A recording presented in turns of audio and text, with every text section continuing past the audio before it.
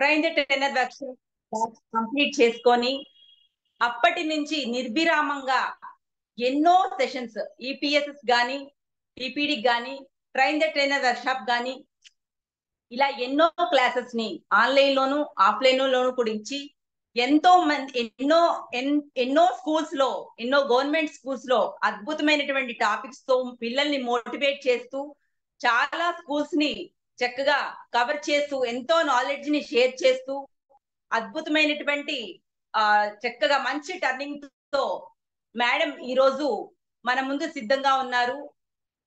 చక్కగా ఎన్నో క్లాసెస్ని చెప్తూ తాను ఆమె ఎప్పుడు కూడా నిత్య విద్యార్థిగా ఎప్పుడు లెర్న్ చేస్తూ ఆమె యొక్క నాలెడ్జ్ని షేర్ చేస్తూ మన ఇంపాక్ట్ ఫౌండేషన్కి ఎంతో రుణపడి ఉన్నారు. ఎంతో చక్కగా సర్వీస్ అందించి ఉన్నారు. She none other than Sunitha ma'am please welcome ma'am the digital dais is yours thank you so much ma'am thank you so much ma'am your wonderful introduction ముందుగా ఇటువంటి మంచి ప్లాట్ఫామ్ క్రియేట్ చేసిన గురుగారు గంపా నాగేశ్వరరావు గారికి నమస్కారాలు తెలుపుకుంటూ ఇక్కడ ఉన్న మన ఎగ్జిక్యూటివ్ డైరెక్టర్ అయిన మా మెంటార్ అండ్ మా కోఆర్డినేటర్ మా టైంలో ఫిఫ్టీ టూ బ్యాచ్కి మా కోఆర్డినేటర్గా ఎగ్జిక్యూటివ్ డైరెక్టర్గా ప్రస్తుతం ఉన్న మా ఆర్వీఆర్ సార్ గారికి ఫస్ట్ నాకు ఈ జూమ్ ప్లాట్ఫామ్ని ఆన్లైన్ సెషన్స్ చేయాలి అనే మోటివేషన్ ఇచ్చింది కూడా ఆయన ద్వారా. నేను అదే అరంగరేటం అంటారు కదండి ఆ విధంగా వచ్చింది కూడా ఆయన ద్వారా ఫస్ట్ క్లాస్ అండి అప్పట్లో. ఆయనకు అలాగే ఇన్ఛార్జ్ అయిన శ్రీదేవి మ్యామ్కి అలాగే ఇక్కడ ఉన్న Aravind sir and Raja Ganesh sir ఇంకా మెంటాస్ మన Subbarao sir and Swathi ma'am అందరికీ కూడాను. ఇక్కడ ఉన్న పార్టిసిపెంట్స్కి అందరికీ కూడా హ్యాపీ ఈవినింగ్ చెప్తూ. ఈరోజు ఇప్పుడే చెప్పారు రమేష్ గారు. ఒక్కొక్కరు ఒక్కొక్క విధంగా తీసుకుంటారు. ఒక మామిడి పండు అయితే మామిడి పండులా తినే వాళ్ళు కొందరైతే జ్యూస్ చేసుకునే వాళ్ళు కొందరు చెప్పే టాపిక్స్ని ఒక్కొక్కరు ఒక్కోలా తీసుకుంటారు అన్నారు. అలాగే ఈరోజు చెప్పుకోబోయే టాపిక్ కూడాను ఒక్కసారి సార్ మీలో ఎవరైనా సరే సార్ ఎవరైనా అన్మ్యూట్ చేసుకొని చెప్తారా? దేని గురించి ఇప్పుడు టాపిక్ డిస్కస్ చేస్తున్నాం?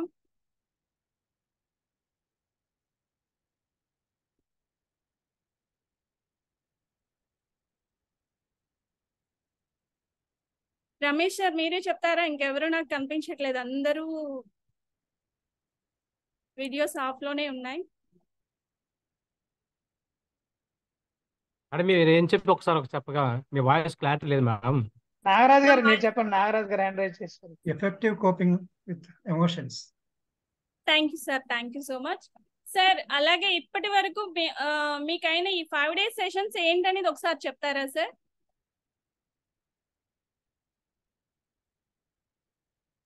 సార్ నా వాయిస్ క్లియర్గా ఉందా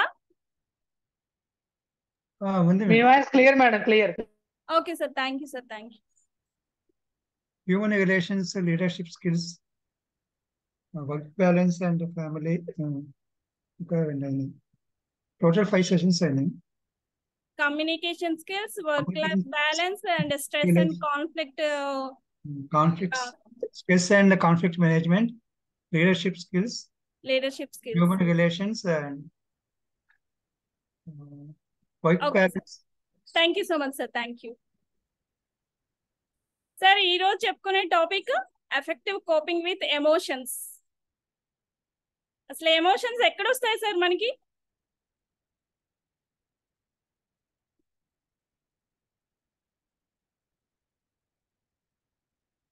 Please switch on your videos అండి. శ్రీనివాసరావు బండారు కాశీరెడ్డి పరకాల్ విజయ్ కుమార్ సార్ ప్లీజ్ అందరూ కూడా ఒకసారి వీడియోస్ ఆన్ చేసుకున్నట్లయితే మనం తొందరగా ముగుర్చుకుంటామండి సెషన్ అయితే. సార్ నాగరాజ్ సార్ మీకు ఏమైనా ఐడియా ఉందా? ఎమోషన్స్ అంటే ఏంటనేది? ఎమోషన్స్ అంటే మనం ఎలా స్పందిస్తున్నాం? ఒక సిచ్యువేషన్కి మనం ఎలా రియాక్ట్ అవుతున్నాం? అది మనసులో నుంచి వస్తుంది. మనస్సు. సార్ మనస్సు అంటే మైండా బ్రెయినా? మైండ్. మైండ్. మరి బ్రెయిన్ అంటే ఏంటి సార్? అది ఒక ఫిజికల్ కాంపోనెంట్. అది మనసు అనేది అబ్స్ట్రాక్ట్ ఇది ఫిజికల్గా ఉంటుంది. బ్రెయిన్. అలానే బ్రెయిన్ మనం ఫిజికల్ కాంపోనెంట్ అంటే మనం టచ్ చేయగలుగుతాం కదా? చేయగలుగుతాం. మనది మనం టచ్ చేయలేం కానీ ఎవరిదైనా సరే మనం సిజేరియన్స్ చేసేటప్పుడు ఏదైనా దాన్ని టచ్ చేయగలుగుతారు. అంతే కదా సార్? ఇప్పుడు స- మన కంప్యూటర్స్ తీసుకున్నాం అనుకోండి కంప్యూటర్లో హార్డ్వేర్ సాఫ్ట్వేర్ అనే రెండు పార్ట్స్ ఉంటాయి. మన బాడీలో కూడాను బాడీ అండ్ మైండ్ అనేది హార్డ్వేర్ అనుకుంటే సారీ బాడీ అండ్ బ్రెయిన్ అనేది హార్డ్వేర్ అనుకుంటే మనసు అనేది ఎక్కడుందో మనకు తెలియదు ఇక్కడ హార్ట్ దగ్గర ఉంది అంటారు. కానీ హార్ట్ అనేది హార్డ్వేర్ అందులో ఉన్న మనసు అనేది మనకు కనిపించదు. దాన్ని సాఫ్ట్వేర్ కింద చెప్పొచ్చు సార్. బ్రెయిన్ అనేది హార్డ్వేర్ అయితే మనసు అనేది మైండ్ అనేది సాఫ్ట్వేర్ ఈ మైండ్లో వచ్చే రకరకాల భావోద్వేగాలనే ఎమోషన్స్ అంటారు. ఈ ఎమోషన్స్ని మనం ఎలా కోపప్ చేయాలి అనేది ఈరోజు సెషన్ అసలు ఎమోషన్స్ అనేవి ఎందుకు వస్తాయి? ఎవరైనా చెప్పగలరా సార్?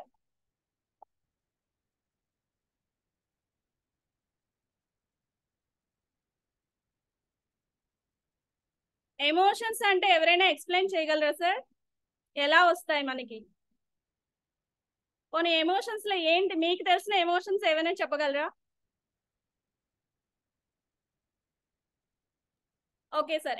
బాధ వచ్చిన సంతోషం వచ్చినా మేడం బాధ వచ్చినా సంతోషం వచ్చినా మనకు ఎమోషన్స్ ఫీల్ అవుతాయి కదా మేడం. అంటే ఇప్పుడు బాధ వచ్చినా సంతోషం వచ్చినా అనేవి అవేంటి సార్? అవి ఎమోషన్సా లేకపోతే ఇంకేమైనా ఎమోషన్స్ కదా మేడం. ఇప్పుడు బాధ వచ్చినా అనుకో నువ్వు ఎక్కువ ఎమోషన్ కాకో ఏం కాదు లైట్ తీసుకో జీవితం అంటే ఇంతే ఉంటది అంటారు కదా మేడం. Okay sir. సంతోషం వచ్చినా ఫీలింగ్ అనేది హ్యాపీ ఫీలింగ్ అనేది మన ఐస్ ద్వారా కానీ మన చిక్స్ ద్వారా కానీ మన ముఖంలో తెలుస్తుంది కదా మేడం. సంతోషం బాధ correct. Sir correct. Thank you sir. Thank you so much sir. Sir నేను చిన్నగా ఇక్కడ ఒక చిన్నగా ఎక్స్ప్లెయిన్ చేస్తాను. ఒక్కసారి అందరూ కూడా కాన్సన్ట్రేట్ చేసి వినండి సార్.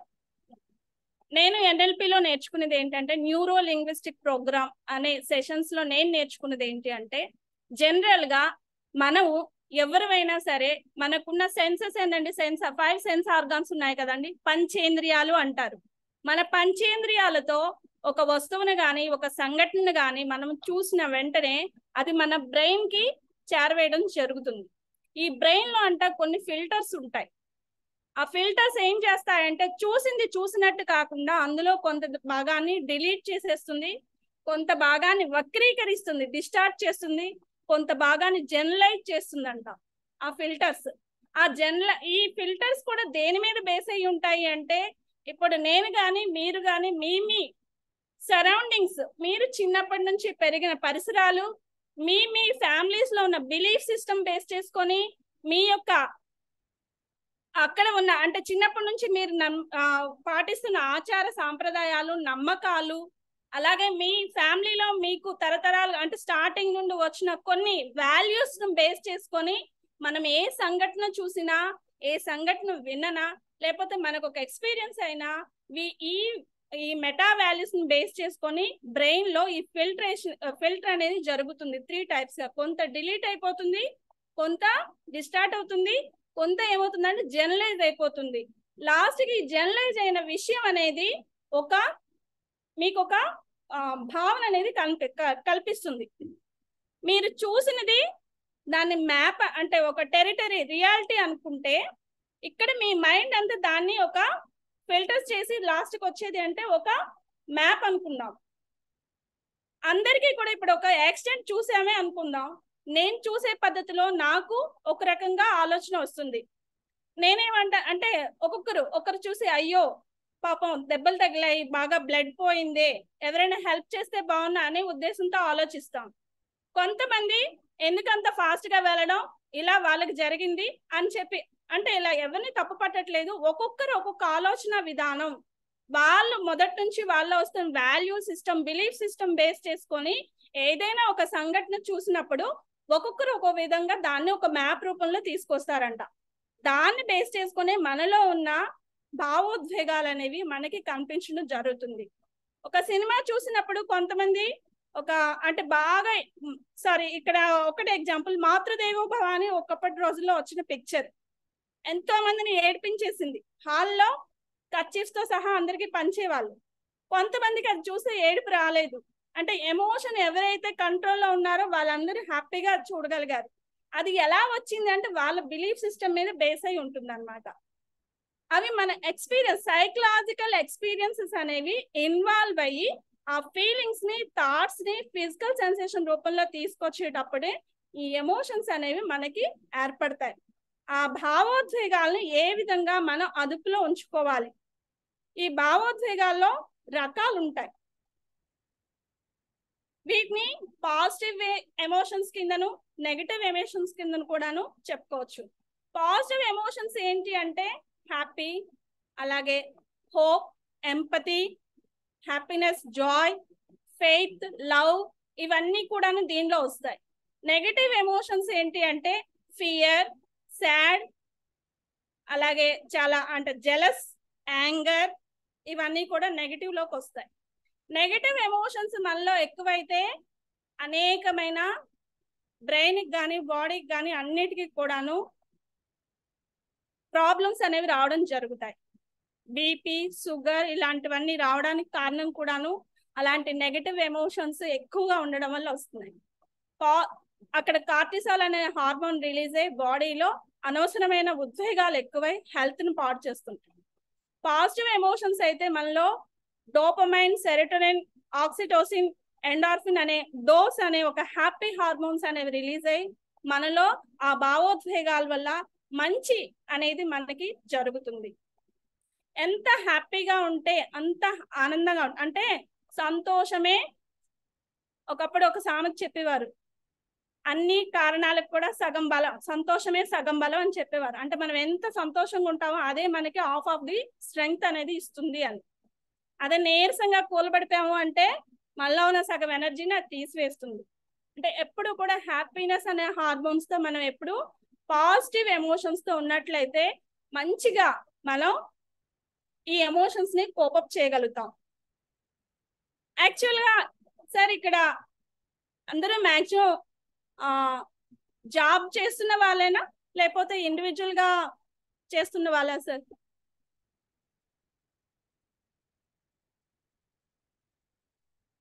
ఓకే.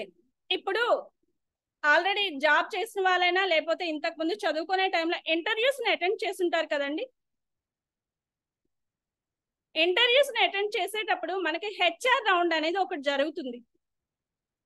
మామూలుగా ఇంటర్వ్యూస్లో మన తాలూకా నాలెడ్జ్ని టెస్ట్ చేయడానికి వాళ్ళు ఐక్యూ టెస్ట్ చేయడానికి ఒక ఎగ్జామ్ అనేది పెట్టి ఎగ్జామ్ ద్వారా క్వాలిఫై అయిన వాళ్ళకి హెచ్ఆర్ రౌండ్ అనేది ఒకటి ద్వారా సెలెక్ట్ చేస్తారు.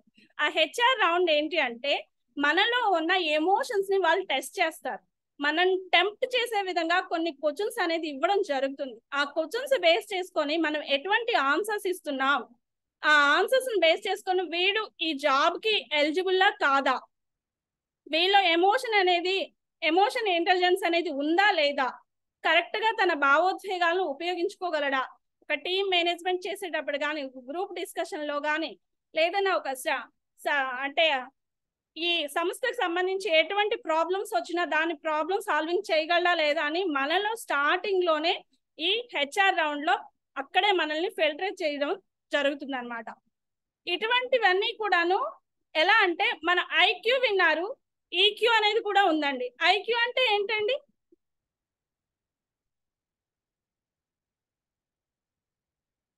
సార్ ఎవరైనా అన్మ్యూట్ చేసుకొని చెప్తారా? ఇంటెలిజెంట్ క్వశ్చన్ ఇంటెలిజెంట్ క్వశ్చన్ అంటే ఏంటి సార్ అది? మనిషిలో ఉన్న తెలివితేటల్ని టెస్ట్ చేయడానికి ఉపయోగించేది. ఈక్యూ అనేది కూడా ఉంటుంది సార్. ఐక్యూ అనేది కొన్ని సంవత్సరాల వరకు మాత్రమే టెస్ట్ చేయగలరు. కానీ ఈక్యూ అనేది ఎమోషనల్ క్వశ్చన్ అనేది ఎప్పుడైనా సరే టెస్ట్ చేయొచ్చు సార్.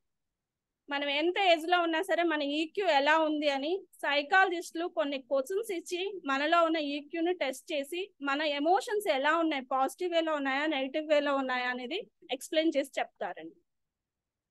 ఐక్యూ అంటే only theory based knowledge based. ఇక్కడ ఒక చిన్న ఇదండి. ఒక మెడిటేషన్ సెంటర్ అది. డైలీ యోగాకి వెళ్ళే వాళ్ళు ఉంటారు. అక్కడ ఏంటంటే టీచరు మెడిటేషన్ చెప్తుంటే ఒక పిల్ల అనేది రావడం రోజు రావడం వచ్చి డిస్టర్బెన్స్ చేయడం జరిగేది. ఆమె ఏం చేశారు అంటే ఆ పిల్లిని అక్కడ ఆ కార్నర్లో అంటే ఆ రూమ్ కార్నర్లో దాన్ని కట్టి పెట్టి ఉంచమని చెప్పేవారు. అది అలాగే కూర్చునేది. అలా డైలీ పిల్లి రావడం ఆ స్టూడెంట్స్ ఏమో మేడం చెప్పినట్టుగా కార్నర్లో కట్టడం జరిగేది. ఇలా డైలీ అంటే కొన్ని రోజులు అలాగే గడుస్తూ గడుస్తూ పోగా ఆ యోగా టీచర్ కూడా చనిపోయి అంటే ఆ మెడిటేషన్ చెప్పే టీచర్ కూడా చనిపోయారు. చనిపోయాక కూడా డైలీ హాల్లో ఆ పిల్లి రావడం ఈ ఆల్రెడీ టీచర్ చేసిన ఈ అలవాటు అనేది వీళ్ళకి ఒక అలవాటుగా మారిపోయి ఆ పిల్లిని అక్కడే కట్టి పెట్టేవారు. అంటే అది ఒక థీరీ బేస్డ్గా థియరిటికల్ నాలెడ్జ్గా వాళ్ళకి అది ఒక ప్రాక్టికల్గా ఉండిపోయింది మనసులో. టీచర్ చెప్పారు దాన్ని ఫాలో అప్ అవ్వాలి. అక్కడ మెడిటేషన్ చేయాలంటే పిల్లి ఉంటేనే చేయాలి అన్నట్టుగా వాళ్ళు దానికి అలవాటు అయిపోయారు అనమాట వాళ్ళు మెడి అంటే వాళ్ళ థాట్ అనేది మెడిటేషన్ చేయాలంటే అక్కడ పిల్లి ఉండాలి అనే విధంగా వాళ్ళు ఫిక్స్ అయిపోయారు.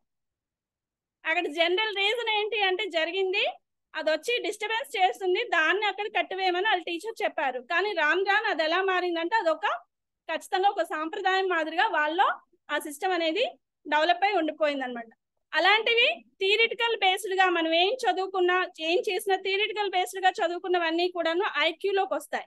ఈక్యూకి వచ్చేసరికి మన ఎమోషన్స్ ఇప్పుడు మన ఇంటిలో ఎలా మనం మన ఎక్స్ప్రెషన్స్ ఎలా చెప్తున్నాం? మనకి మనం ఎలా ఇది చేసుకుంటున్నాం అనేది చెప్పొచ్చు.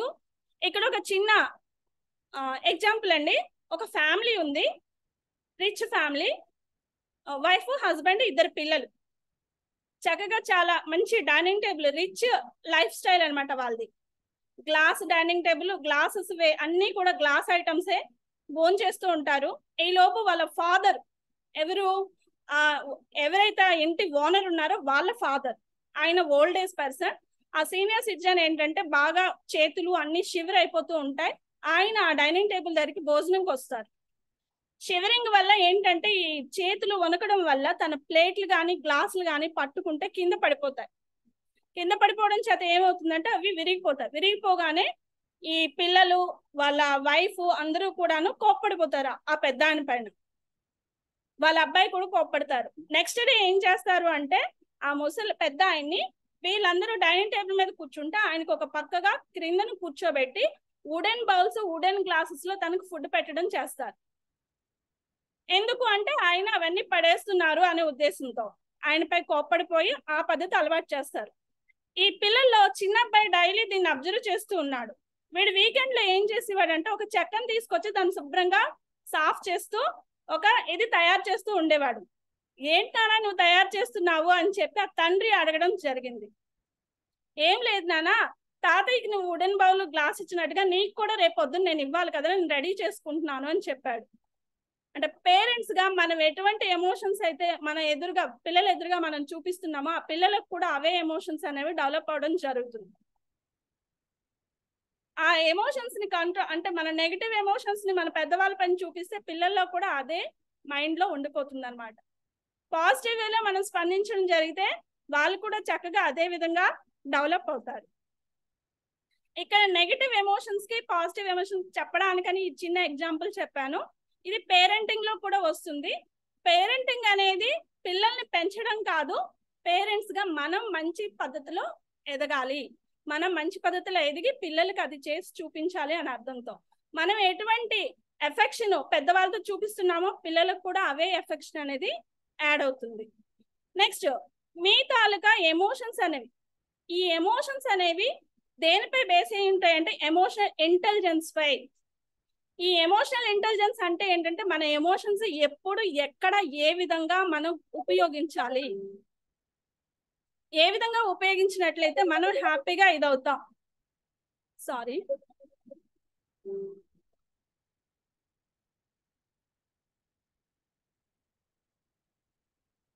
ఒక సిచ్యువేషన్ మనం అర్థం చేసుకొని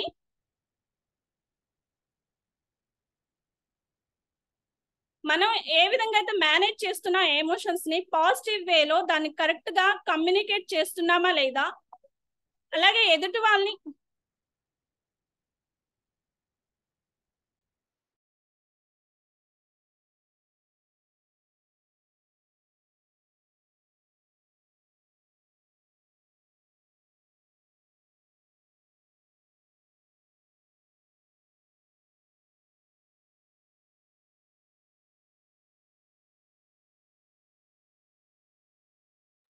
సారీ ఈ ఎమోషనల్ ఇంటెలిజెన్స్ అనేది మనం ఏదైనా పరిస్థితిని చూసి ఏ విధంగా అర్థం చేసుకుంటున్నాం దాన్ని చక్కగా పాజిటివ్ వేలో ఇచ్చేసుకుంటున్నావా లేదా ఎదుటి వాళ్ళని కరెక్ట్గా కమ్యూనికేట్ ఎఫెక్టివ్గా చేస్తున్నామా లేదా వీటన్నిటిపైన ఎంపథైజ్గా దాని ఒక చా- అక్కడ వచ్చిన కాన్ఫ్లిక్ట్ని డిఫ్యూజ్ చేస్తూ మనం ఆ ఛాలెంజెస్ని కరెక్ట్గా యూజ్ చేసుకున్నదాన్ని ఎమోషనల్ ఇంటెలిజెన్స్ అంటారండి. మన టోటల్ పర్సనాలిటీ డెవలప్మెంట్లో ఎమోషనల్ ఇంటెలిజెన్స్ అనేది ఒక కీ పాయింట్గా చెప్పొచ్చండి. ఈ ఎమోషనల్ ఇంటెలిజెన్స్ని ఎలా డెవలప్ చేసుకోవాలి? మనలో ఉన్న ఎమోషన్స్ని కరెక్ట్గా ఎలా ఓవర్కమ్ చేయాలి అనేదే ఇప్పుడు మనం చెప్పుకోబోయే టాపిక్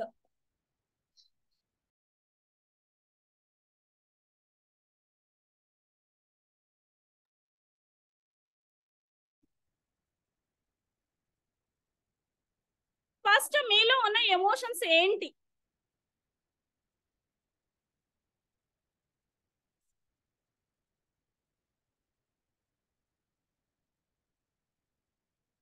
మీలో ఉన్న ఎమోషన్స్ ఏంటి? సాడ్నెస్సా లేదంటే యాంగ్రీయా? ఎప్పుడు కూడా డైలీ మీరు డైలీ లైఫ్లో ఏ విధంగా రియాక్ట్ అవుతుంటారు?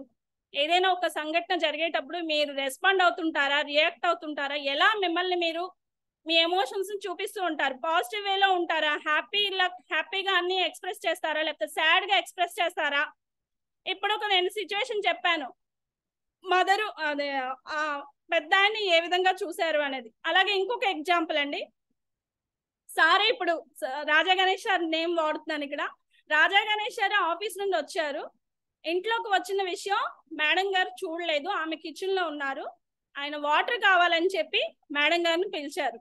అక్కడ వాళ్ళ పిల్లలు ఇద్దరు కూడాను ఫోన్లో ఆడుకుంటున్నారు. ఫస్ట్ ఏమైనా నాకు కొంచెం మంచినీళ్ళు ఇవ్వు అని అడిగారు. ఆమె వినిపించుకోలేదు. సెకండ్ టైం అడిగారు. వినిపించుకోలేదు. థర్డ్ టైం అడిగారు. ఆమె వినిపించుకోలేదు. అప్పుడు అక్కడ ఉన్న పాప ఏం చేసిందంటే వెళ్ళి ఒక గ్లాసులు మంచినీళ్ళు ఇచ్చింది. సార్ అప్పుడు మీ రియాక్షన్ ఎలా ఉంటుంది చెప్తారా సార్? రాజా గణేష్ సార్. మీరు ఎలా రియాక్ట్ అవుతారు దానికి?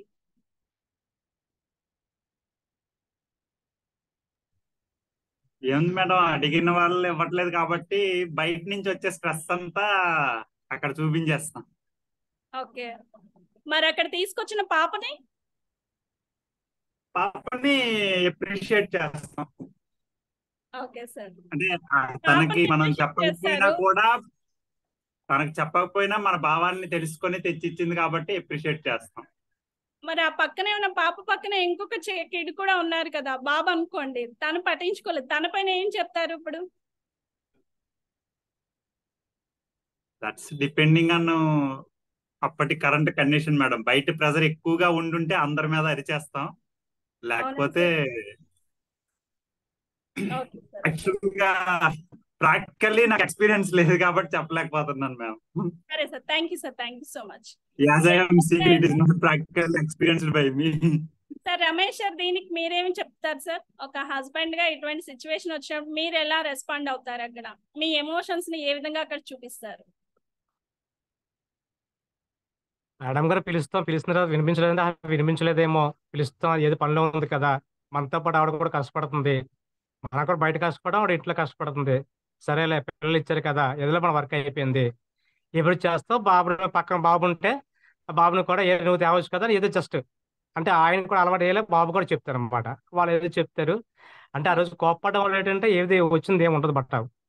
ఓకే సార్ అంటే మన ఎమోషన్ అనేది అక్కడ ఏ విధంగా రెస్పాండ్ అవుతున్నాం. ఆ ఎమోషన్ ఏంటి? సాడ్నెస్ వచ్చిందా? లేకపోతే యాంగ్రీ వచ్చిందా? ఏం వచ్చింది? మనం అనేది ఐడెంటిఫై చేయగలగాలి. నెక్స్ట్ వాళ్ళ. కోణంలో ఉండి మనం ఆలోచించడం కూడా ఎంపతి అంటారండి. వాళ్ళ సిచ్యువేషన్లోకి వెళ్ళి వాళ్ళని అర్థం చేసుకొని వాళ్ళ అంటే అక్కడ ఎందుకు తను రెస్పాండ్ అవ్వలేకపోయారు? అక్కడ ఏం జరిగింది అనేది మనం ఆలోచించి కూడాను మనం తీసుకునే డెసిజన్ అనేది మన ఎమోషన్ పై డిపెండ్ అయి ఉంటుందండి. ఫస్ట్ మీ తాలూకా ఎమోషన్ని ఐడెంటిఫై చేయాలి. ఐడెంటిఫై చేశాక మీ ఎమోషన్స్ పైన ఎప్పుడు కూడా ఒక అటెన్షన్ని మాత్రం పే చేస్తూ ఉండాలండి.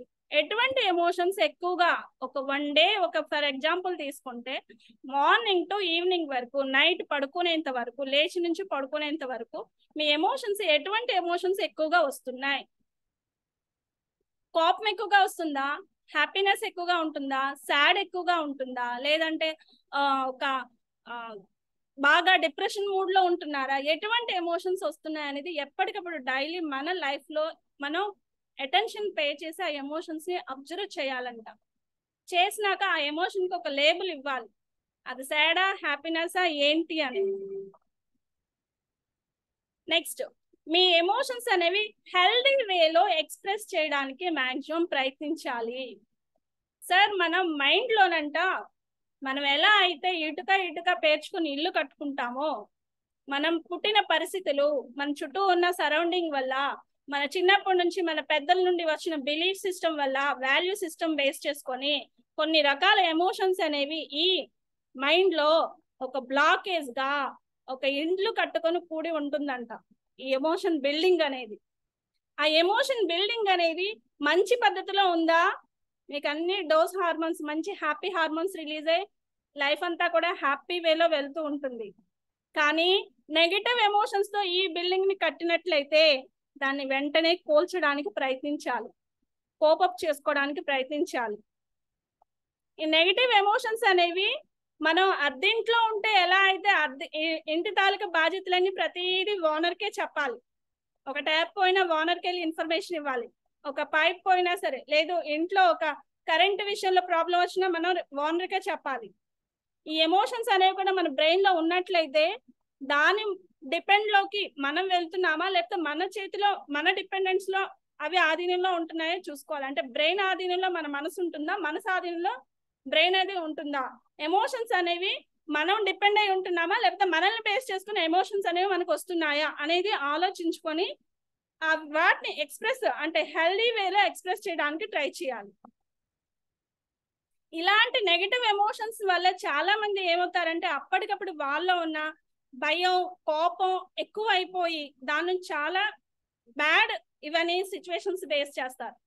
ప్రాబ్లం అనేది వచ్చింది అంటే దానికి చాలా మంది చాలా వరకు చూసుకునేది అంటే ఏంటి అంటే పర్ పర్మనెంట్ సొల్యూషన్ ఒక సూసైడ్ అని వెళ్ళిపోతారు. ఒక ప్రాబ్లం వచ్చిందంటే దానికి పర్మనెంట్ సొల్యూషన్ సూసైడ్ అనుకుంటారు. కానీ ఒక టెంపరీ ప్రాబ్లం కి పర్మనెంట్ సొల్యూషన్ సూసైడ్ కాదు. మనం చిన్నప్పటి నుంచి వింటూనే ఉన్నా every problem has a solution. ఏ కష్టం వచ్చినా సమస్యకు సమాధానం అనేది ఖచ్చితంగా ఉంటుంది. దాన్ని అన్వేషించి తెలుసుకొని దాన్ని కరెక్ట్గా ఆ ఎమోషన్స్ని మనం బ్యాడ్ ఎమోషన్స్ నుంచి గుడ్ ఎమోషన్లోకి మనల్ని మనం తెచ్చుకోవడానికి ప్రయత్నించాలన్నమాట. ఇక్కడ ఫియర్ అనేది అంటే భయంతో కూడిన ఎమోషన్స్ అనేవి ఉండటం వల్ల మన డైలీ లైఫ్లో మనం ఎలా ఉంటున్నాం మనకి మనం అబ్జర్వ్ చేసుకొని మన ఫ్యామిలీలో కానీ మన రిలేటివ్స్లో కానీ లేదంటే మనం వర్క్ చేస్తున్న ప్లేస్లో కొలీగ్స్తో కానీ నా బిహేవియర్ ఎలా ఉంటుంది అని అడగడానికట భయపడకూడదు. వాళ్ళ నుంచి ఫీడ్బ్యాక్ తీసుకోవాలంట. ఇప్పుడు ఫర్ సపోజ్ నేను ఇప్పుడు సెషన్ ఇస్తున్నాను సెషన్ తర్వాత నా నా సెషన్ ఎలా ఉంది అని నేను ఎలా అయితే భయపడుతూ అడిగాను అనుకోండి నాలో ఉన్న తప్పులు అనేవి నాకు తెలియవు.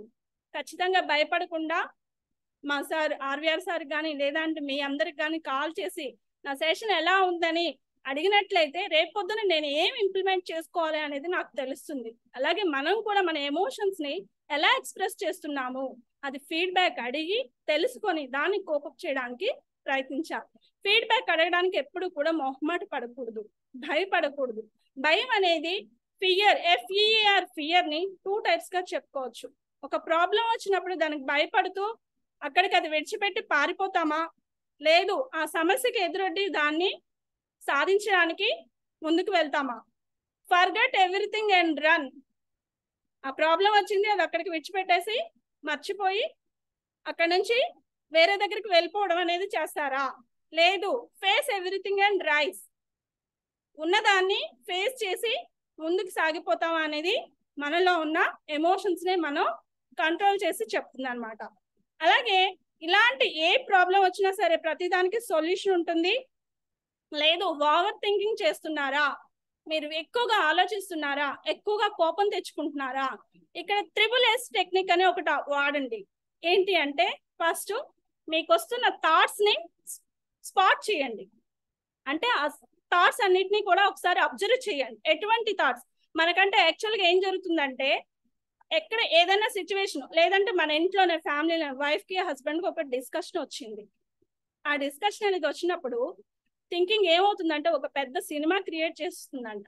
ప్రీవియస్ ఎప్పుడో జరిగినవి తర్వాత జరగబోయేవి లేకపోతే మీ తనవారు ఇలా చేశారు ఇలా అలా మీ అన్నదమ్ములు ఇలా మొత్తం అంతా ఒక పెద్ద సినిమా క్రియేట్ అయిపోతుంది చిన్న ప్రాబ్లం కి. ఆ సినిమా క్రియేట్ అయ్యేటప్పుడు ఆ సినిమాని ఇంకా పెద్ద ఎల్ఈడి టీవీల మాదిరిగా మార్చకుండా దాన్ని స్టార్ట్ చేసి అక్కడికి ఆఫ్ చేయాలి. ఆ థాట్స్ని స్టాప్ చేయాలి. ఫస్ట్ స్పాట్ చేయాలి నెక్స్ట్ సెకండ్ ఎస్ వచ్చి స్టాప్ చేయాలి. అంటే థింకింగ్ అక్కడికి ఆపాలి. ఆఫ్ చేసి అటువంటి డిస్కషన్ వచ్చేటప్పుడు ఆ ప్లేస్ నుంచి బయటికి వెళ్ళిపోండి. ఏ బాత్రూమ్కో లేదంటే బయటికి ఫ్రెండ్స్తో చాటింగ్కో ఎక్కడికో బయటికి వెళ్ళిపోండి. అంటే స్వాప్ అయిపోండి చేంజ్ అయిపోండి ఆ ప్లేస్ నుంచి. చేంజ్ అయిపోవడం వల్ల ఆ పెద్ద అక్కడ వచ్చిన డిస్కషన్ అనేది తర్వాత ముందున్నంత ఎక్కువగా నెక్స్ట్ టైం అది జరగడానికి ఛాన్స్ అనేది ఉండదు. స్పాట్ చేయండి స్టాప్ చేయండి స్వాప్ చేయండి. స్పాట్ మీ థాట్స్ అనేవి ఎలాంటి వస్తున్నాయి? దాన్ని స్టాప్ చేయండి థాట్స్ని అక్కడికి స్టాప్ చేసేయండి. స్టాప్ చేసినాక స్వాప్ చేయండి అంటే స్వాప్ అంటే చేంజ్ మన థాట్స్ వర్డ్స్ రూపంలో వస్తాయి. టీడబ్ల్యూఐఎఫ్ఏ అండి. మన థాట్స్ వర్డ్స్ రూపంలో వస్తాయి. అంటే మన ఆలోచనలే పదాల రూపంలో బయటకు వస్తాయి. ఆ పదాలే సారీ థాట్స్ థాట్స్ రావడం వల్ల ఫీలింగ్స్ కలుగుతాయి. ఫీలింగ్స్ వల్ల ఒక ఇమాజినేషన్ అనేది మన పిక్చర్ మైండ్లో కలుగుతుంది. దాన్ని బేస్ చేసుకొని మనం పదాల వర్డ్స్ అనేవి యూజ్ చేస్తాం. ఆ వర్డ్స్ ద్వారా మన యాక్షన్స్ కూడా ఉంటాయి. Thoughts feelings imagination words action thoughts feelings imagination words action అంటే మనకు వచ్చిన ఆలోచనలు బేస్ చేసుకుని ఈ ఓవర్ థింకింగ్ వల్ల వచ్చిన ఆలోచనలు బేస్ చేసుకుని మన ఫీలింగ్స్ మనలో ఒక కోపంతో కూడిన ఉద్రేకంతో కూడిన ఒక ఇది బాడీలో పాస్ అవుతుంది. దాన్ని బేస్ చేసుకొని ఒక పెద్ద పిక్చర్ ఊహించేసుకుంటాం. నే ఇదిగో ఇలా జరిగింది అప్పుడు ఇలా జరిగింది ఇదైంది అదైంది అని చెప్తూ దాన్ని బేస్ చేసుకొని మన వర్డ్స్ అనేవి వస్తాయి బయటికి. ఆ వర్డ్స్ని బేస్ చేసుకొని మన యాక్షన్స్ కూడా అలాగే చిరాగా ఏదో ఒకటి పగలగొట్టడం ఇంకేదో ఇచ్చేయడం ఏ వాచ్ పగలగొట్టడం లేదంటే టీవీ రిమోట్ పగలగొట్టడం ఏదో ఒకటి చేస్తాం. అలా కాకుండా వచ్చిన ఆలోచనల్ని అక్కడికి స్టాప్ చేసి ఆ సిచ్యువేషన్ నుంచి బయటికి వెళ్ళాక తర్వాత అక్కడికి ఫైవ్ టెన్ మినిట్స్ తర్వాత వచ్చినట్లయితే మనం అవి అంతకు ముందున్నంత ఎమోషన్స్ని చూపించకుండా దాన్ని కామప్ చేయగలుగుతా అండి. ఎప్పుడు కూడా హెల్దియర్ వేలో చూపించడానికి ప్రయత్నిస్తూ ఉండడం మంచిది. లేదు అది మించిపోతుంది అనేటప్పుడు ఈ త్రిబులెస్ టెక్నిక్ వాడి చూడండి. సెల్ఫ్ రెగ్యులేషన్ అనేది ప్రాక్టీస్ చేయాలండి. సెల్ఫ్ రెగ్యులేషన్ అంటే ఇక్కడ క్యామిల్ తెలుసు కదండి అందరికీ క్యామిల్ క్యామిల్ పుట్టే బేబీని కాఫ్ అంటారండి. మన ఆవుకి కవ్వుని అలాగే కవ్ బేబీ కవ్ను కాఫ్ అంటారు. అలాగే బేబీ క్యామిల్ కూడాను కాఫ్ అంటారు. బేబీ కాఫ్ పుట్టగానే క్యామిల్ ఏం చేస్తుందంట తన్నేస్తుందంటండి. చాలా గట్టిగా స్ట్రోక్స్ ఇస్తుందంట. అది కదలలేదు. మళ్ళీ స్ట్రోక్స్ ఇస్తుందంట. కొంచెం ముందు జరుగుతుంది. ఇంకొంచెం ఇంకా గట్టిగా స్ట్రోక్స్ ఇస్తుంది. అలా ఆ బేబీ కాఫ్ పుట్టిన బేబీ కాఫ్ అనేది లేచి పరిగెత్తేంత వరకు అలాగే తంతునే ఉంటుందంట తల్లి. చూసే వాళ్ళకి ఎలా ఉంటుంది ఏంటంటే ఇదేంటి తల్లేనా? ఎందుకు ఎలా చేస్తుంది? అనుకుంటారు. కానీ అక్కడ రీజన్ ఏంటి అంటే తనకు తాను సర్వైవ్ అవ్వాలి. అడవిలో తిరగాలి అంటే యానిమల్స్ నుంచి లైన్ టైగర్ ఇటువంటి పెద్ద పెద్ద జంతువుల నుంచి వైల్డ్ యానిమల్స్ నుంచి ఆ బేబీ కాఫ్ తనకు తాను సర్వైవ్ అవ్వాలి అంటే ఈమె పుట్టగానే తన్నిన స్ట్రోక్స్కి తను అలవాటు చేసుకుంటుందంట. తనలో ఒక రెగ్యు సెల్ఫ్ రెగ్యులేషన్ అనేది తయారు చేసుకుంటుంది. సెల్ఫ్గా మేనేజ్ చేయడం అంటే తను ఎలా ఇదవ్వాలనేది మేనేజ్ చేసుకుంటుందంట. అలాంటి సెల్ఫ్ మేనేజ్ని మనకు మనం అలవాటు చేసుకోవాలి. ఇక్కడ మాకు ఎన్ఎల్పిలో చెప్పింది ఏంటి అంటే మనకు వచ్చిన మనకి ఏర్పడిన ప్రతి సిచ్యువేషన్ కూడాను ఎవరినో బ్లేమ్ చేయడానికి కానీ ఎవరినో మనం పాయింట్ అవుట్ చేయడానికి లేదు. మన ఆలోచనల ద్వారా వచ్చినవే మనకు వచ్చిన యాక్షన్స్ అన్ని కూడా నువ్వు హ్యాపీగా ఆలోచిస్తున్నావా? అన్ని హ్యాపీ సిచ్యువేషన్లోనే నీకు వచ్చే అవుట్కమ్ అనేది ఉంటుంది. నువ్వు అన్ని నెగిటివ్గా ఆలోచిస్తున్నావా? అన్ని నెగిటివ్ గానే ఉంటాయి. కాబట్టి నీకు నువ్వు తెలుసుకో నీ సెల్ఫ్ అవేర్నెస్ అనేది చేసుకో. నీకు ఎటువంటి ఎమోషన్స్ వస్తున్నాయి? ఆ ఎమోషన్స్ని ఎలా కంట్రోల్ చేయాలి అనేది తెలుసుకుంటూ సెల్ఫ్ రెగ్యులేషన్ అనేది ప్రాక్టీస్ చేయడం అనేది జరగాలి. ఎంపతిని ఎదుటి వాళ్ళ కోణంలో నుంచి మనం అర్థం చేసుకోవడానికి ప్రయత్నించాలి. ఒక బాస్గా కానీ లేదంటే ఒక ఆఫీస్లో వర్క్ చేస్తుండేటప్పుడు మిగతా అంటే ఒక ఇద్దరు పర్సన్స్ని ఇక్కడ ఎగ్జాంపుల్ తీసుకుంటే ఒక పర్సన్ చాలా యాక్టివ్గా అందరితో మింగిల్ అవుతూ చక్కగా తనకు అంటే అందరితో మింగిల్ అవుతున్నారు. అలాగే ఎదుటి వారి ప్రాబ్లమ్స్ని అండర్స్టాండ్ చేసుకుంటూ వాళ్ళకి అవసరమైన హెల్ప్ని తను షేర్ చేస్తూ వస్తున్నారు. తన టీమ్లో ప్రతి ఒక్కరికి కోఆపరేట్గా ఉంటున్నారు అతను. ఇంకొక వ్యక్తి ఓన్లీ తన పనేదో తను చేసుకుంటూ వెళ్ళిపోతున్నారు. టీమ్తో తనకి మంచి రిలేషన్ అనేది మెయింటైన్ చేయట్లేదు. ఈ ఇద్దరు వ్యక్తుల్లో ఎవరికండి తొందరగా ప్రమోషన్ అనేది రావడం జరుగుతుంది?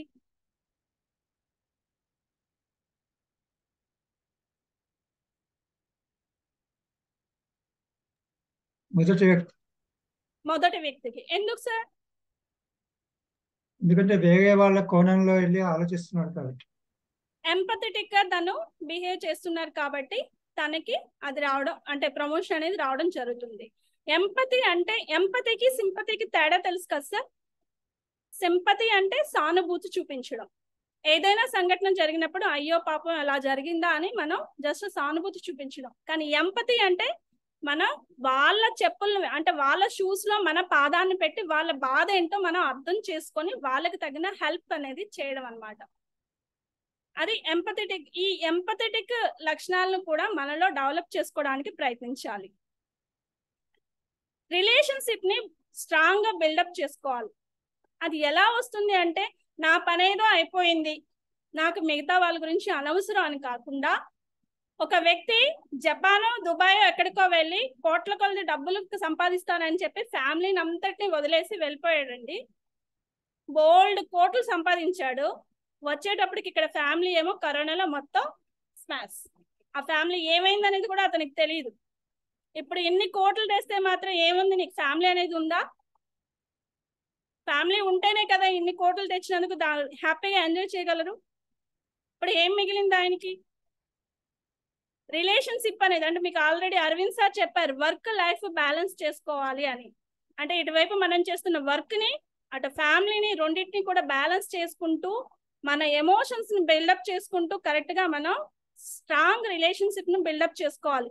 మనకి ఏదైనా బ్యాడ్ సిచ్యువేషన్స్ వచ్చేటప్పుడు ఒక అంటే సూసైడ్ థాట్స్ కానీ లేదంటే ఇంకా ఎక్కువ ఓవర్ థింకింగ్ ఓవర్ ఎమోషన్స్లోకి మనం వెళ్ళేటప్పుడు మన తాలూకా కష్టాన్ని చెప్పుకోవడానికంటే అట్లీస్ట్ ఒక ఫ్రెండ్ అయినా ఒక రిలేటివ్ అయినా అది పార్ట్నర్ అయినా అయి ఉండొచ్చు లేదా ఒక ఫ్రెండ్ అయ్యొచ్చు ఒక బ్రదర్ అయినా ఎవరినైనా ఒక్కరిని మాత్రం ఖచ్చితంగా మనకి సపోర్టివ్గా ఉంచుకోవాలంటండి.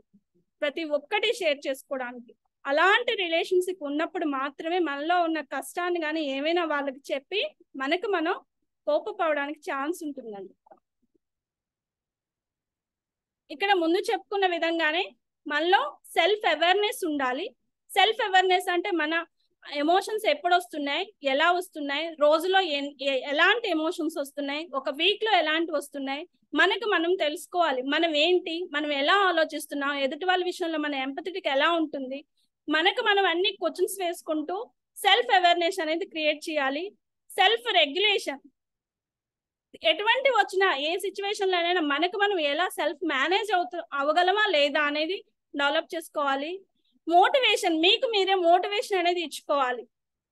ఇప్పుడు ఎటువంటి సిచ్యువేషన్ వచ్చినప్పుడైనా సరే ఒక ప్రేరణ అనేది మనలో మనమే కల్పించుకోవాలండి. దానికి ఎవరో వచ్చి ఏదో చేస్తారని ఎదురు చూసి మోసపోకమని చెప్పినట్టుగానే మనలో వచ్చిన ఈ ప్రాబ్లమ్స్ని సాల్వ్ చేయడానికి మనకి ఎవరో వచ్చి హెల్ప్ చేయరండి. మన హ్యాపీనెస్ కానీ మన సాడ్నెస్ కానీ మనలో ఉన్న ఎమోషన్స్ మనలో ఉన్న థింకింగ్ ప్రాసెస్ వల్ల జరుగుతుంది కాబట్టి దాన్ని కరెక్ట్గా మోటివేషన్ అంటే సరైన వేలో మోటివేట్ చేసుకుంటూ మనం ఎంపథెటిక్గా సోషల్ స్కిల్స్ నలుగురితో సమాజంలో అందరితో కలిసి ఉండే విధంగా నలుగురికి చక్కగా అర్థమయ్యే విధంగా మనం ఎలా ఉండగలుగుతాము ఆ సోషల్ స్కిల్స్ కూడా డెవలప్ చేసుకుని ముందుకు సాగాలండి.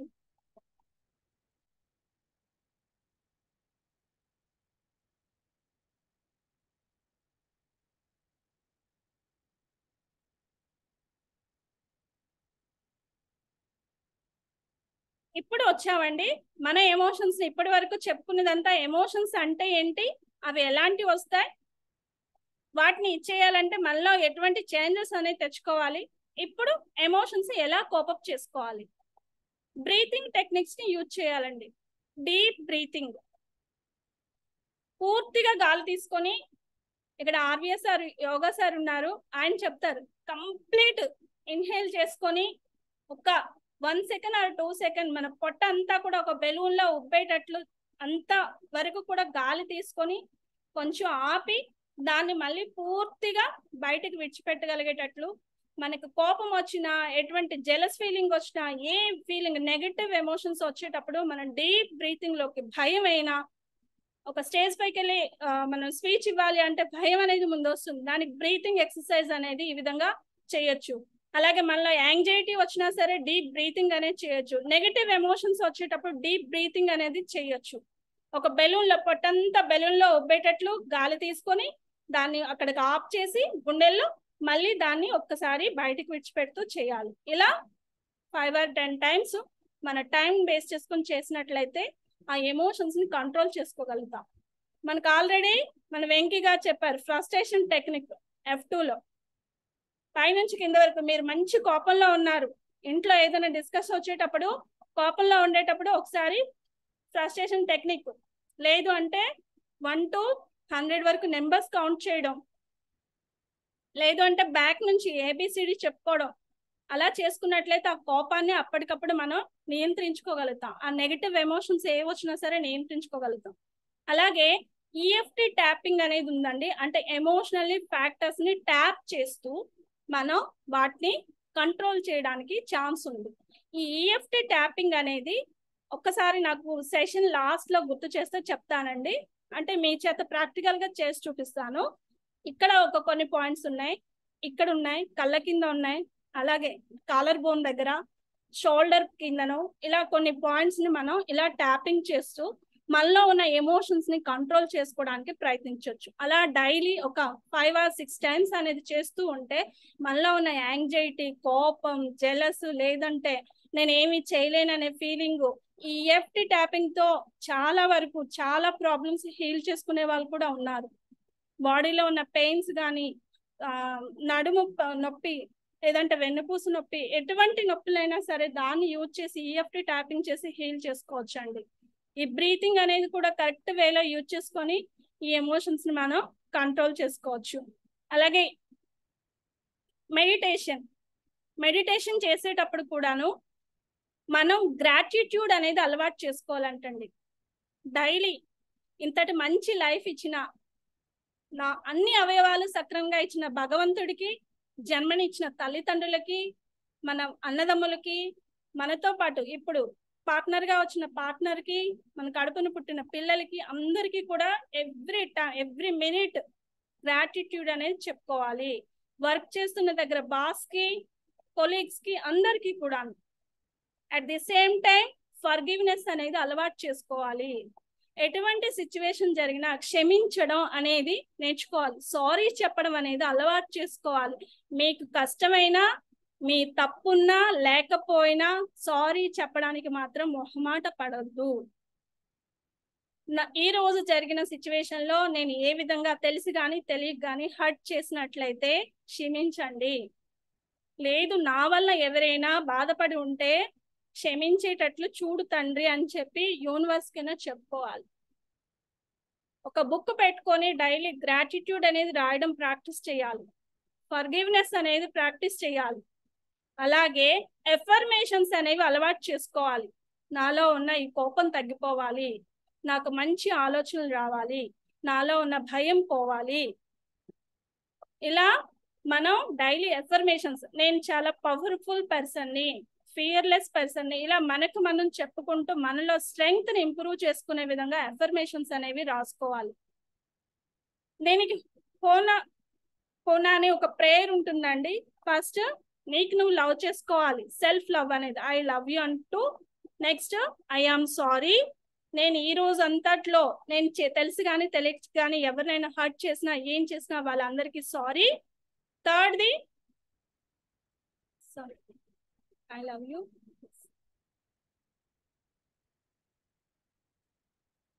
sorry sir ఇప్పుడు మర్చిపోయాను. ఫ్లోలో చెప్తానండి నేను.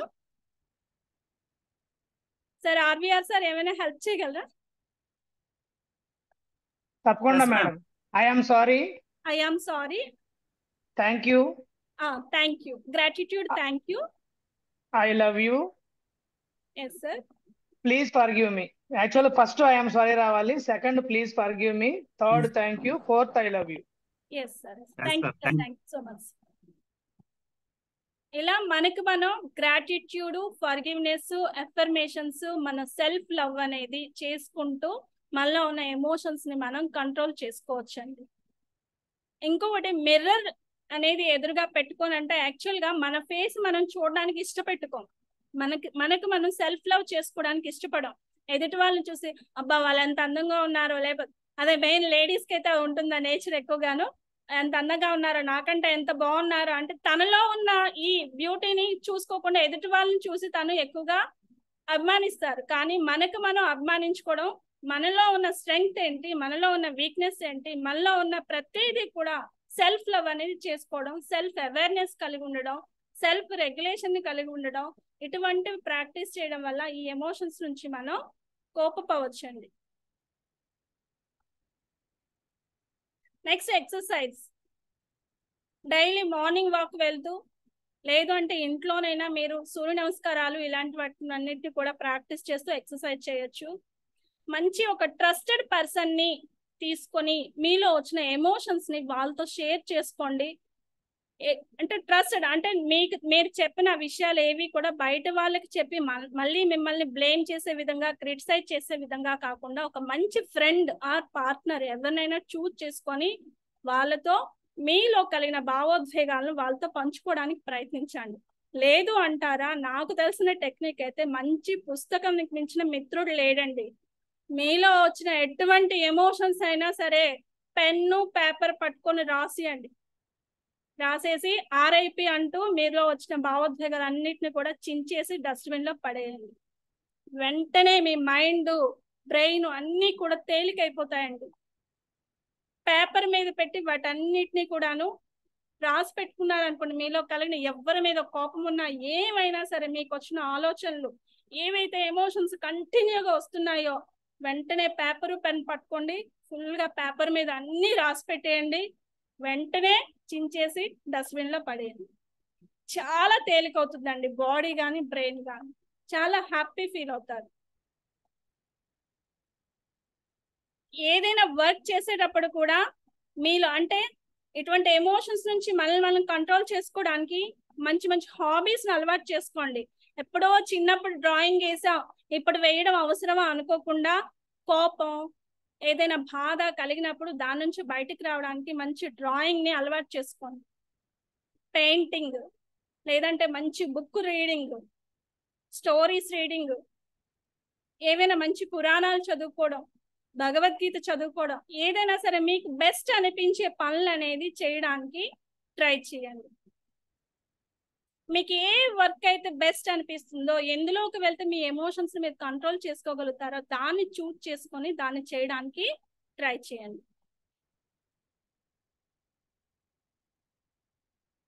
ఈ ఎమోషన్స్ని మనం కోపప్ చేసుకోవడం వల్ల ఏంటి ఇంపార్టెన్స్ అంటే మన మెంటల్ హెల్త్ అనేది ఇంప్రూవ్ అవుతుంది. అనవసరంగా కోపాన్ని పెంచుకొని భయం పెంచుకొని లేదంటే ఒక అసూయని పెంచుకొని ఎదుటి వాళ్ళని చూసి వాడు బాగుపడిపోతున్నాడే వాళ్ళ వాళ్ళ పిల్లలు మంచి మంచి పొజిషన్లోకి వెళ్ళిపోయారే. ఇలాంటివన్నీ ఆలోచించే కంటే మనలో ఇటువంటి మంచి హాబీస్ని అలవాటు చేసుకొని మన మెంటల్ హెల్త్ని మనం ఇంప్రూవ్ చేసుకోవడానికి ప్రయత్నించవచ్చు మన మెయిన్ మెంటల్ హెల్త్ మెకానిజాన్ని చేంజ్ చేయడానికి ఆలోచించవచ్చు మంచి రిలేషన్స్ని అలవాటు చేసుకున్నట్లయితే మనలో బాండింగ్ అనేది అందరితో కూడా చాలా బాగా ఉండడానికి అవుతుంది. మనలోన చెడు అంతటిని బయటికి పోయేటట్లుగా మనకు మనం దృఢంగా తయారవగలుగుతాం ఎటువంటి సిచ్యువేషన్ వచ్చినా సరే దాన్ని ఎటువంటి స్ట్రెస్ఫుల్ డిప్రెషన్ ఎటువంటి ప్రాబ్లమ్స్ వచ్చినా కూడా దానికి చక్కగాను కోపపోయేటట్లుగా మనం ప్రాక్టీస్ చేసినట్లయితే ఇంతకు ముందు చెప్పినవన్నీ ఖచ్చితంగా మనలో ఒక రెసిలెన్స్ అనేది మనం ఇంక్రీజ్ చేసుకోగలుగుతాం. ఈ ఎమోషన్స్ కోపప్ చేసుకోవడం వల్ల మనలో వచ్చే ఇదండి. ఈ ఇంపార్టెన్స్ ఏంటి అంటే మెంటల్ హెల్త్ ఇంప్రూవ్ చేసుకోవచ్చు రిలేషన్షిప్స్ని పెంచుకోవచ్చు. మనలో ఉన్న self self awareness self management వల్ల మనలో ఎటువంటి సిచ్యువేషన్లు వస్తే మనం ఎలా రియాక్ట్ అవుతున్నామని మనకు మనం తెలుసుకొని మనల్ని మనం కంట్రోల్ చేసుకునే రెసిలెన్స్ అనేది డెవలప్ అవుతుంది.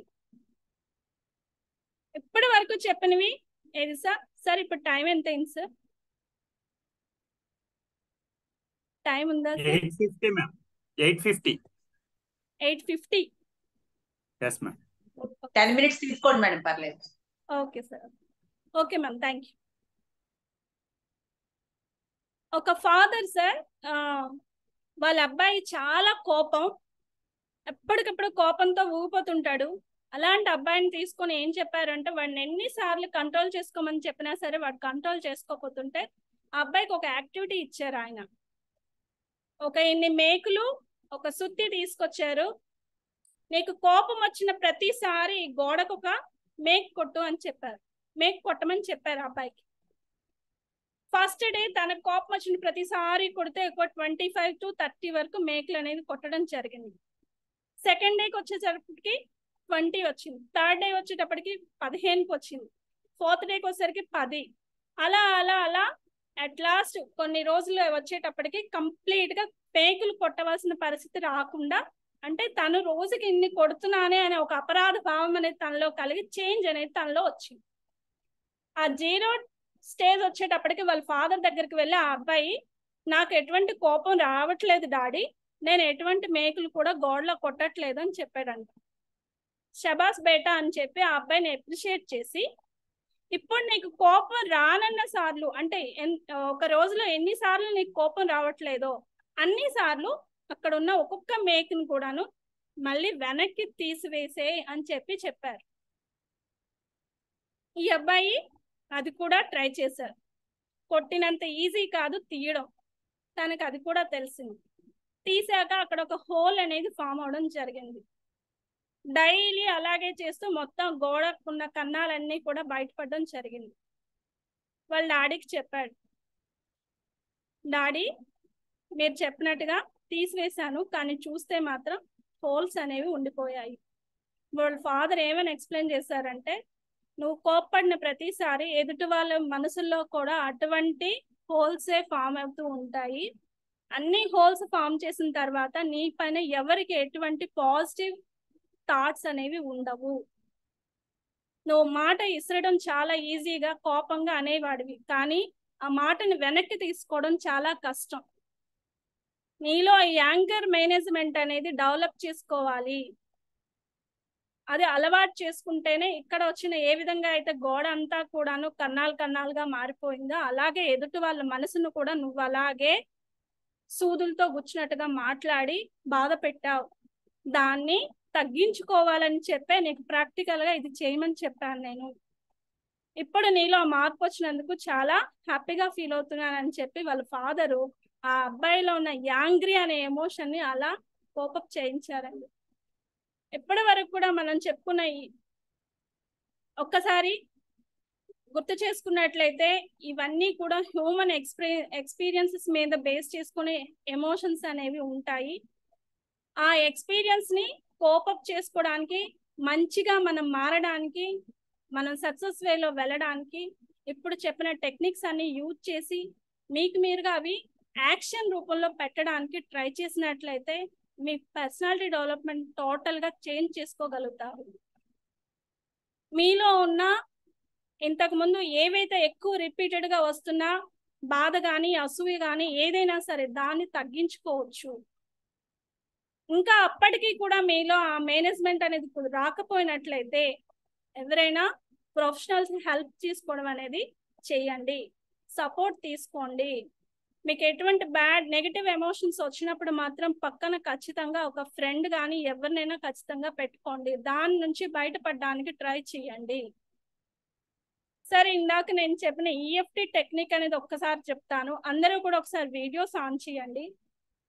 ఫస్ట్ ఇక్కడ సార్ ఈ టూ ఫింగర్స్ని తీసుకోండి.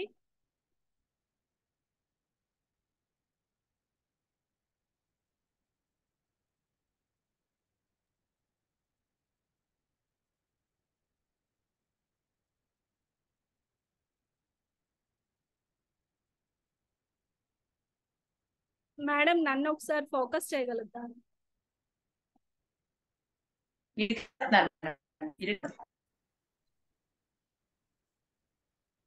ఓకే ఒక్కసారి. ఫస్ట్ ఇదండి. ఈ టూ ఫింగర్స్ని తీసుకోండి. దీంతో ఇక్కడ ట్యాప్ చేస్తూ మీలో కోపం ఎక్కువగా ఉందా అసూయ ఎక్కువగా ఉందా లేదంటే బాధ ఎక్కువగా ఉందా భయం ఎక్కువగా ఉందా నాలో ఉన్న భయం పోవాలి లేదంటే నాలో ఉన్న స్టేజ్ ఫియర్ పోవాలి అని మేడం చెప్పి ఎక్స్క్యూజ్ మీ. సార్. మీరు లెఫ్ట్ రైట్ అనేది రిఫరెన్స్ చెప్పండి. ఇది అంటే మాకు అర్థం కాదు కదా. అంటే ఐ మీన్ మాకంటే ఏ హ్యాండ్ తోనైనా యూజ్ చేయొచ్చు సార్ ఇది. ఓకే. ఇలా తీసుకుంటూ ఇలా మీ రెండు ఫింగర్స్ ఇక్కడ ట్యాప్ చేస్తూ నాలో ఉన్న ఎమోషన్ అనేది కంట్రోల్ అవ్వాలి అని చెప్పుకుంటూ ఇలా చేసుకుంటూ వెళ్ళాలండి. నెక్స్ట్ వచ్చి ఇవే ఫింగర్స్తో ఇక్కడ ఫోర్ హెడ్ పైన అంటే ఐబ్రోస్ పైన. నెమ్మదిగానే ఫోర్స్గా మాత్రం చేయొద్దు. ఇలా ట్యాపింగ్. నెక్స్ట్ ఇక్కడ ఐస్ కింద ఇలా రెండు ఫింగర్స్ కూడా అంటే రెండు చేతులతో కూడా యూజ్ చేయొచ్చు ఇక్కడికి వచ్చేటప్పటికి.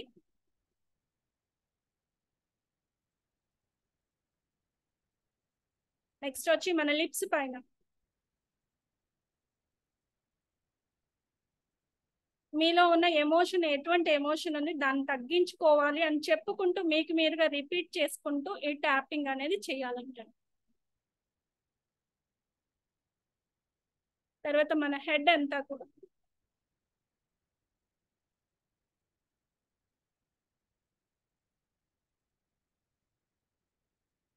నెక్స్ట్ ఇక్కడ కాలర్ బోన్ అండి.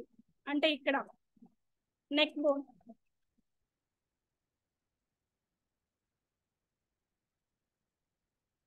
అలాగే మన చెయ్యి కిందని ఇక్కడ ఇలా రిపీట్ చేసుకుంటూ సేమ్ వేలోనే మళ్ళీ బ్యాక్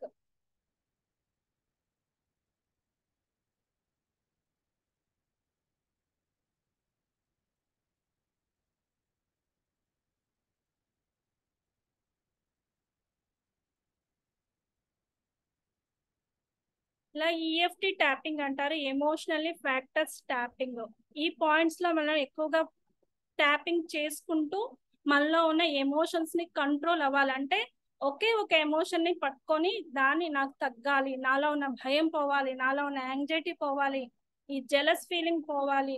లేదు అంటే నా బాడీలో ఈ పెయిన్స్ అనేవి రిలీఫ్ ఇవ్వాలి నాకు. నా బాడీ పెయిన్స్ తగ్గాలి. ఏ ప్రాబ్లం ఉంటే ఆ ప్రాబ్లం కరెక్ట్గా చెప్పుకుంటూ మీరు ఈ ట్యాపింగ్ అనేది డైలీ ఒక ఫైవ్ టు సిక్స్ టైమ్స్ ఈ ట్యాపింగ్ అనేది బాడీలో చేసినట్లయితే మీలో ఉన్న ఎమోషన్ అనేది ఖచ్చితంగా ఫ్యాక్టర్స్ అనేవి తగ్గడం అనేది జరుగుతుంది.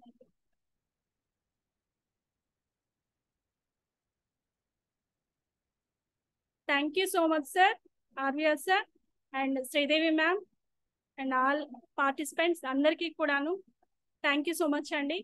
ఎటువంటి క్లాస్ సెషన్ని మీ అందరితో పంచుకునే విధంగా నా నాలెడ్జ్ షేర్ చేసుకునే అవకాశాన్ని ఇచ్చిన ఆర్వీఆర్ సార్కి అనేక ధన్యవాదాలు తెలుపుకుంటూ అందరికీ కూడాను. హ్యాపీ నైట్ అని చెప్తున్నాను థ్యాంక్ యూ